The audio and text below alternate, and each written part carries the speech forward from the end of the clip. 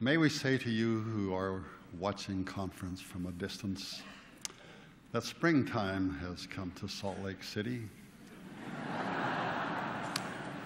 we have had a delightful season. We have had our warm days, almost like summer. Our tulips and our daffodils are in full bloom. Our lawns are green again. And to just show that springtime is fickle, even in Salt Lake City, we may say that we have had a wonderful snowstorm today. The whole valley is covered in a blanket of white. The trees are like trimmed with ermine, and our pine trees and our fir trees almost resemble the pictures on the front of Christmas cards. But springtime to us means more than weather.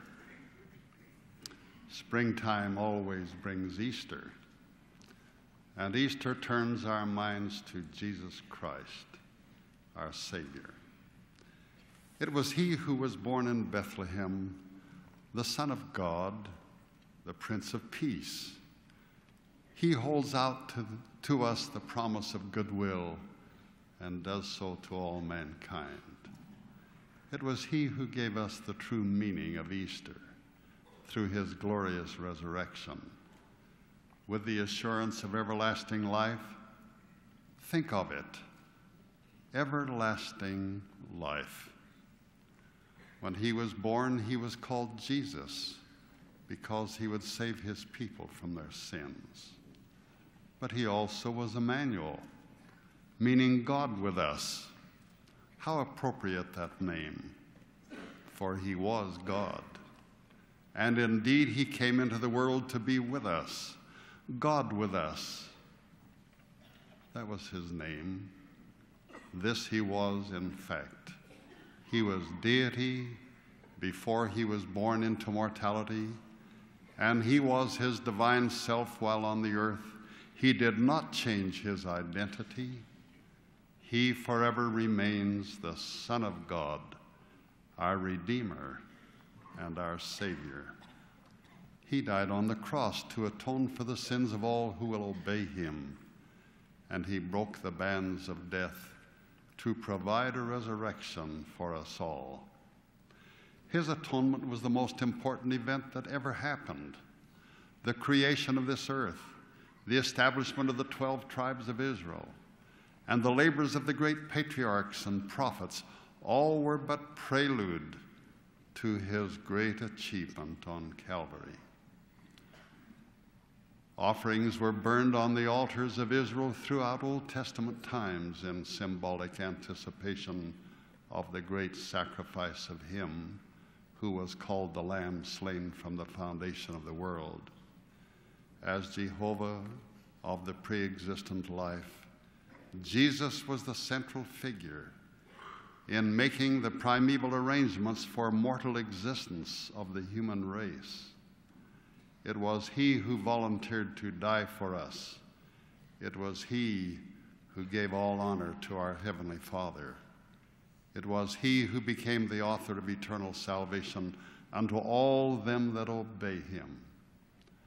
As the Apostle Peter said, there is none other name under heaven given among men whereby we must be saved. Much advanced preparation was required for his atonement, even before he was born in the flesh. For one thing, an earth was required on which we, the children of God, could live during our mortal existence. Of necessity, that earth must be physical, physical in its nature for we who were to live on it would be physical beings such as we now are. It had to be a physical earth, also on which the Savior could live out his mortal life.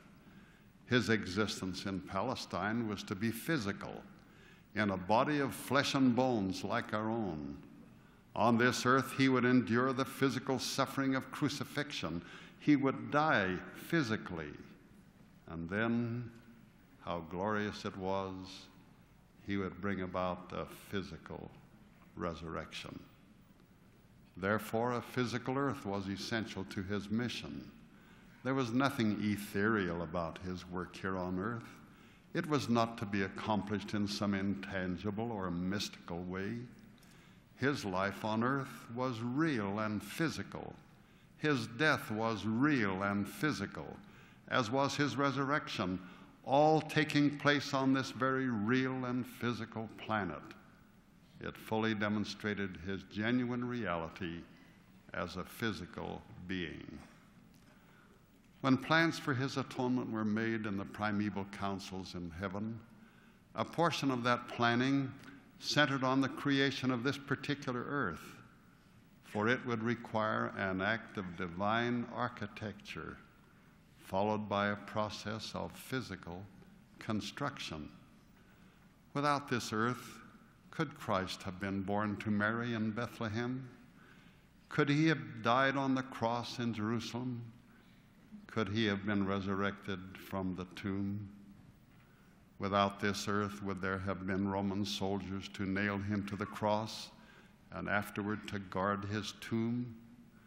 Could he have manifested himself physically as a resurrected person, physically to his disciples as proof of his resurrection? Would the other Mary have been in the garden on that first Easter morning? to hear the angel say, He is not here, He is risen. The special creation of this earth was a vital part of the plan of salvation. It had a particular purpose. It was no afterthought. Neither was it an accident of any proportion, nor a spontaneous development of any kind. It was the result of deliberate, advanced planning and purposeful creation. The divine architect devised it. The Almighty Creator made it and assigned to it a particular mission. This earth was not designed merely as a home for mortals, however, not at all. It has a greater destiny than that. This earth will not remain in its present condition. It is to become immortal. It will pass through a refining process by which it will become a celestial globe and be like a Urim and Thummim in the skies. That will require further acts of divine creation. And of course, ordinary common sense tells us that no spontaneous accident could produce a change like that. The Savior will reside here when the earth is celestialized, and his Father will visit it from time to time. It then will be the eternal home of those who achieve celestial glory in the kingdom of God. Such is the final destiny of the earth. Such was the purpose God had in mind in creating it, for he planned it so in the beginning. Do we appreciate what this earth really means to us? Do we see why it was made? Do we understand its purpose? Do we see that there was nothing accidental or spontaneous about its origin? Do we see that its creation was literally and truly, completely and exclusively an act of God? And who was the Creator? Our Heavenly Father declares that it was His own beloved Son who accomplished the mighty task. All things were made by Him, and without Him was not anything made that was made, said the Apostle John. By Him were all things created that are in heaven and that are in earth, visible and invisible, whether they be thrones or dominions or principalities or powers all things were created by him and for him, and he is before all things, and by him all things consist. So said the Apostle Paul. The Almighty also affirmed it when he told Moses, Worlds without number have I created, and I also created them for mine own purpose, and by the Son I created them which is mine only begotten. Christ also taught that he himself was the Creator. Said he to the prophet Joseph Smith, Behold, I am Jesus Christ, who created the heavens and the earth. One of our most touching and impressive revelations of the Savior is provided in the book of Ether, where the appearance of the Lord to the brother of Jared is recorded. I quote briefly from it. Said the Savior to the brother of Jared, Behold, I am he who was prepared from the foundation of the world to redeem my people. Behold, I am Jesus Christ. Never have I shown myself unto man, whom I created. For never has man believed in me as thou hast. Seest thou that ye are created after mine own image? Yea, even all men were created in the beginning after mine own image. This body which ye now behold is the body of my spirit. And man have I created after the body of my spirit, and even as I appear unto thee to be in the spirit, will I appear unto my people in the flesh. There we have it in his own words. In glorious, irrefutable truth, Christ is the Creator. Shall we not accept his word in preference to uninspired theories of men? Probably the greatest challenge to belief in Christ today is the fast spreading denial that he is the Creator, coming from men who would supplant the revealed truth with the very tenuous and fragile theory that the universe and all life came about in some mysterious, spontaneous, accidental manner. To deny that he is the Creator is to deny also that he is the Christ. To deny that He is the Creator is to deny that He can save us from our sins. To deny that He is the Creator is to deny that He broke the bands of death. It is to reject the fact of the resurrection. To deny that He is the Creator is to deny that He wrought out an atonement on the cross at Calvary. To deny that He is the Creator is to reject His gospel and the true Christian religion. But He is the Creator, He is the Redeemer, He is the Savior of the world. He did accomplish His atonement on Calvary, and He did bring about the resurrection. This we know by the revelation of God. His gospel is true, and we love it. And we love Him and deem it a privilege to serve Him. Can anyone ask for a plainer definition of creation and the purpose of life than is given in our scriptures? We even have the word of our eternal Father. He bore testimony that Jesus Christ, his beloved Son, and in addition declared that he is very well pleased with him. He not only affirmed that Christ created the worlds, but after each step in creation, did he not say that the work was well done? When the waters and the firmament were put in position, God saw that it was good. When life was placed on the earth, God saw that it was good. And when creation was finished, God saw everything that he had made, and behold, it was very good. The Father is a God of truth and he said that the Savior is full of grace and truth. Then dare we disbelieve him or reject his words?